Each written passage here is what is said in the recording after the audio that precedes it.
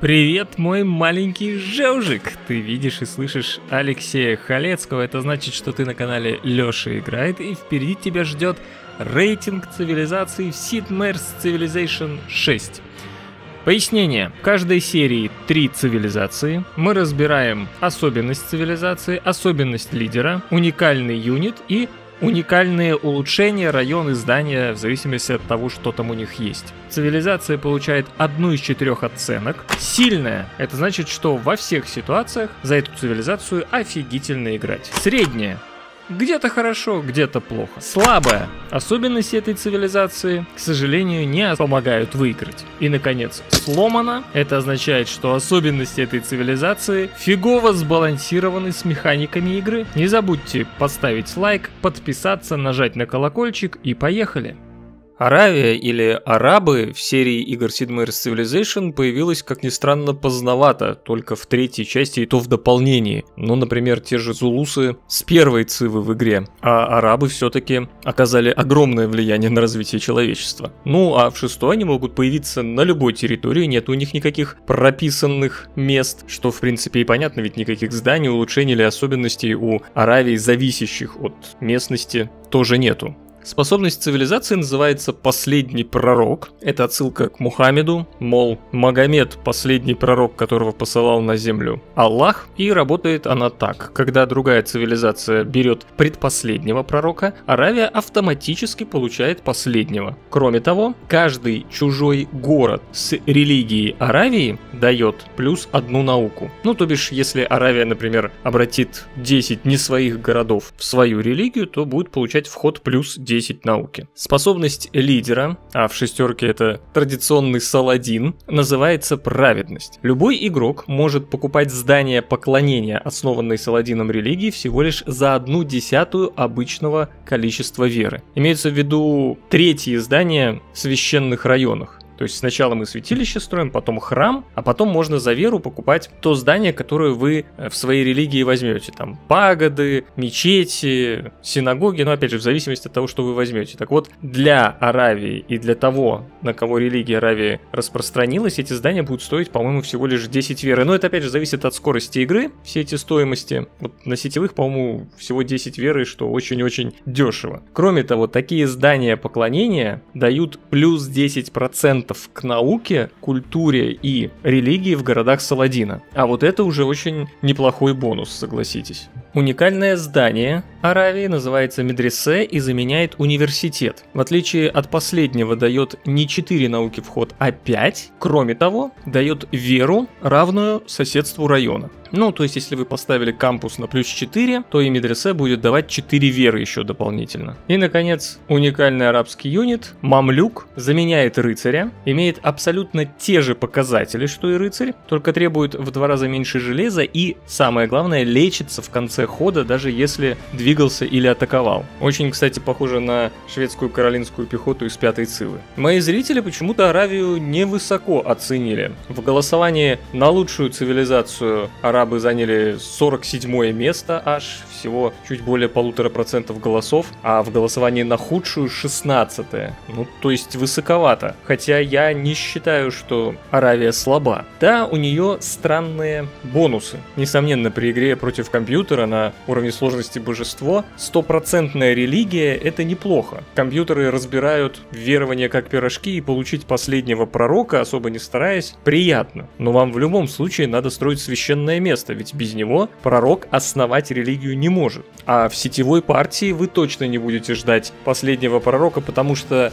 во-первых, иначе все самые лучшие верования разберут более религиозные игроки, а во-вторых, может так статься, что и не так много участников будут играть через веру. И получается, что эта способность не работает, как и, в общем-то, плюс одна наука от чужих городов под вашей религией. Но это просто мало. Да, это может помочь, если вы хотите победить религии. То есть вы вкладываетесь в пророков, в миссионеров, распространяете, и за счет этого получаете хоть какую-то компенсацию вот этой наукой. Но этого все равно мало. Вы точно не сможете держаться на равных с теми, кто вкладывается именно в науку науку или хотя бы не сильно отставать. Тем не менее, если сложить все вместе, дешевые здания за веру, которые дают плюс 10% к вере, культуре и науке, а также медресе, то Аравия, как ни странно, одной из лучших научных цивилизаций является, конечно, если не брать в расчет какие-нибудь Вавилон, Корею или Австралию. Поэтому я удивлен, что так низко зрители оценивают Аравию, видимо, просто не распробовали. Мамлюки, конечно, тоже не самый крутой уникальный юнит, в первую очередь из-за того, что он требует железа, которого может не быть. Да и брать города кавалерии в шестой циве тяжеловато. Но отбиться от внезапной атаки в средневековье или сбегать пограбить соседа вполне неплохой выбор. Влад Бенишман сетует, мало кто вспоминает Аравию, когда речь идет о сильных нациях. Гарантированно Верованная религия это хорошо, но если мы получаем пророка последними, то и выбираем религию последними, что плохо. Но это не мешает сосредотачиваться на чем-нибудь другом вместо создания пророка.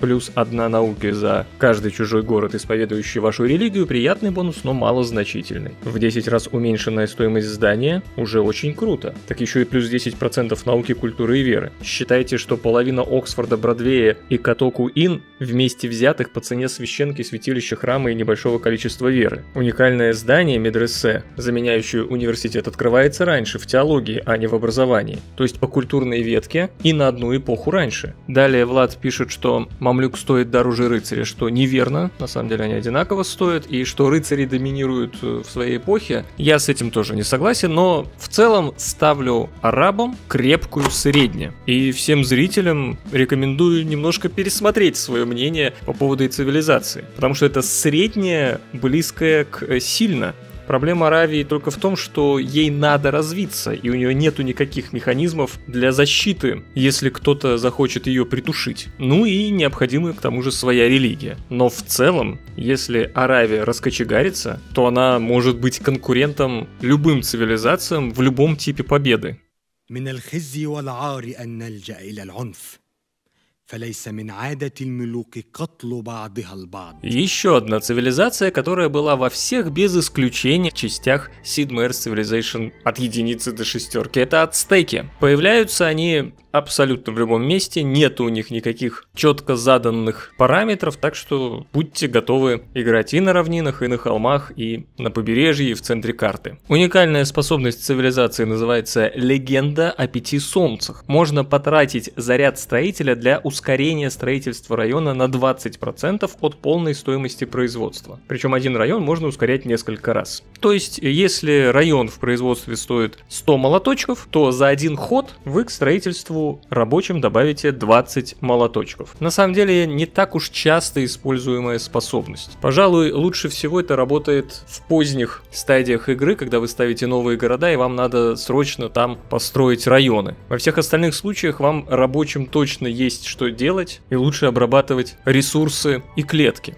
Ну или ускорить строительство космопортов, что тоже благодаря этой способности можно сделать. Способности лидера ацтеков вездесущего Монтесумы называется дары дары для Тлатаани. Ресурсы довольства на территории ацтеков дают довольство для двух дополнительных городов. Просто если кто не в курсе, то любой ресурс довольства, там, например, шелк или янтарь, работает на 4 города, и только для ацтеков на 6. Кроме того, военные юниты получают плюс одну боевую мощь за каждый обрабатываемый ресурс довольства на территории ацтеков. А это уже очень-очень неплохо. Во-первых, ацтекам чуть меньше требуется ресурсов роскоши для роста городов, чем всем остальным цивилизациям. А напомню, в шестой циве золотым числом городов, вот прям с которым просто можно комфортно играть, даже без завоевания дополнительных, это 6-7 городов как раз. Так мало того, что города у вас растут, ресурсы роскоши вам еще и силу добавляют. 5 ресурсов довольства, плюс 5 к силе, а в шестой цивилизации плюс 5 довольно серьезный бонус. Как будто этого мало. Уникальное здание, Тлачтли, тоже намекает на то, что ацтеки должны воевать. Несмотря на то, что Тлачтли заменяет арену, то есть строится в развлекательном комплексе, но оно дает одно очко великого генерала.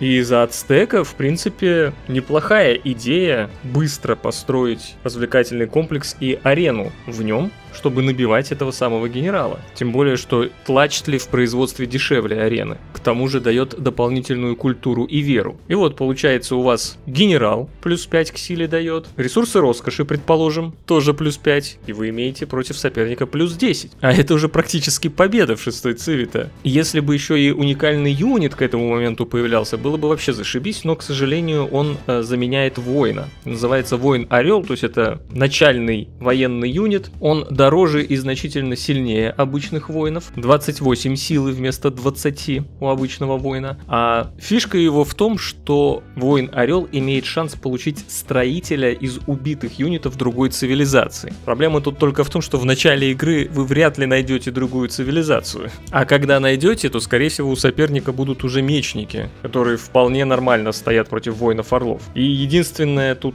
альтернатива это немножко подраться с городами-государствами. И нафармить рабочих на них. Но опять же, это зависит от рандома карты, и рядом может просто не оказаться городов-государств. Так что обычно эпоха воинов Орлов в пролете для Ацтека. Мои зрители Ацтеков почему-то не оценили, поставили на 39 место, и я думаю, что это, скорее всего, вот из-за их направленности на войну. Потому что способности все говорят о том, что иди воюй. Хотя, в отличие, например, от тех же Мапучи, которым надо ждать золотой век, чтобы получить свой бонус, вы для ацтеков бонусы можете сделать сами и довольно большой за счет генерала и ресурсов роскоши. И пойти хоть не завоевать, да пограбить соседа. Ему нечего будет вам противопоставить. Он тоже точно не сможет играть с вами в упорку, просто потому что он не может взять ваши города с такой силой юнитов, как у вас. Но я понимаю, что многие из вас просто не любят воевать, а любят строить домики. А это точно не про ацтеков. Хотя и на развитие их бонус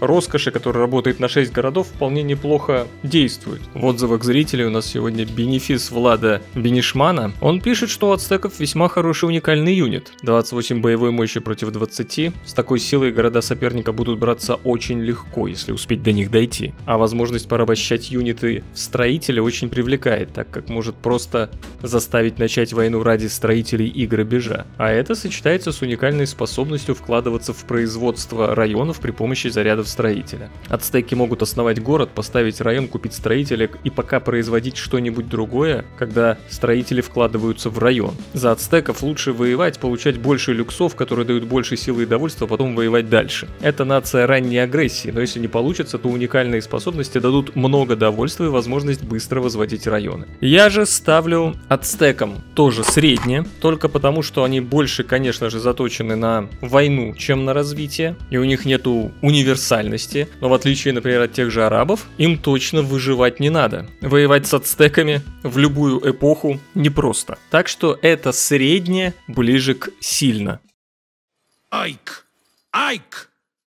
Бразилия появилась в Sid Meier's Civilization впервые в пятой части, и то в дополнении Brave New World. В шестерке же у нее прописано появление в тропических лесах. Выше шанс появиться в тропических лесах только у Вьетнама. Возможно, кто-то не понимает, как это работает. Э, вначале генерируется карта, а потом на ней расставляются цивилизации в зависимости от шанса попасть в тот или иной биом. Так вот, у Вьетнама самый высокий шанс а это значит, что если в одной партии Вьетнам и Бразилия, и тропических лесов мало, то они достанутся именно Вьетнаму. Но согласитесь, это довольно низкий шанс, и по моему опыту Бразилия всегда начинает в тропических лесах. А это значит, что ее уникальная способность под названием Амазония работает офигительно. Тропические леса дают бонус за соседство плюс один для кампусов, центров коммерции, священных мест и театральных площадей, а также плюс одно жилье пригороду от соседнего среднего тропического леса. А это значит, что вы за Бразилию абсолютно спокойно можете поставить и кампусы на плюс 6, и священные места на плюс 12 аж. Это при условии, если заполучите пантеон на соседство тропических лесов. А священное место на плюс 12 означает и плюс 12 от трудовой дисциплины. Это я вам все пытаюсь донести, что с развитием у Бразилии обычно проблем нету вообще. Способность лидера Педру II называется благородный. После найма или меценатства великого человека возвращается 20% потраченных на него очков великих людей. То есть, если великий ученый стоил 100 очков, то когда вы его наняли, у вас прям сразу 20 очков остается для накопления к следующему великому человеку. На эту способность работает и уникальный район Бразилии. Уличный карнавал, заменяющий развлекательный комплекс, или Копакабана, заменяющая аквапарк. Оба этих района дают два счастья вместо одного, которые дают обычные районы, но важнее здесь то, что в этих районах Бразилия может проводить уникальный проект, который называется Карнавал. И этот проект после завершения дает очки всех великих людей, то есть и инженера, и торговца, и писателя, и художника, и музыканта. Ну, правда, кроме адмирала, флотоводца и пророк, великого ученого. Да, правда, он дает меньше очков великих людей, чем оригинальный район, но я не думаю, что игрок на Бразилии по этому поводу расстраивается. Ведь имея хотя бы три таких района, раскачав производство хотя бы за счет той же трудовой дисциплины и проводя постоянно карнавалы в городах, а потом еще и сохраняя 20% от очков великих людей, вы можете набить этих великих людей большое количество, я хочу вам сказать. Я, правда, не очень понимаю, как, как это карнавалы вообще могут реально работать. Вы вообще бразильские карнавалы видели? То есть приходит какой-то чувак, смотрит на полуголых теток в перьях и думает, думает, стану великим ученым и создам Минас Жерайс. Это уникальный юнит Бразилии, который заменяет линкор. В производстве они абсолютно одинаковые, но Минас Жейрос на десяточку сильнее. В ближнем бою 70 вместо 60, а в дальнем 80 вместо 70. И поверьте, атаку Минас Жейросами отбить очень непросто. Но, прямо скажем, это не самый крутой все-таки уникальный юнит, потому что только на воде да, и в последних эпохах скорее вы будете на самолетах воевать, чем на линкорах. Удивительно, но мнения о Бразилии среди моих зрителей разделились. С одной стороны, она заняла 19 место среди лучших цивилизаций и набрала почти 5,5% голосов. Это верхняя треть списка. А с другой стороны, 18 место среди худших цивилизаций. Опять же, треть списка. Верхняя треть. Я думаю, это из-за того, что игроки не очень разобрались, как вот великих людей себе себе набивать э, за счет Бразилии. Ну, надеюсь, им это видео поможет. Вот, например, комментарий от Джоша. Бразилия, конечно, слабейшая, все ее бонусы отстойные. Уникальный район почти ничем не отличается от заменяемым. А до уникального морского юнита еще дожить надо. Возражает же ему Светогор Горбатюк.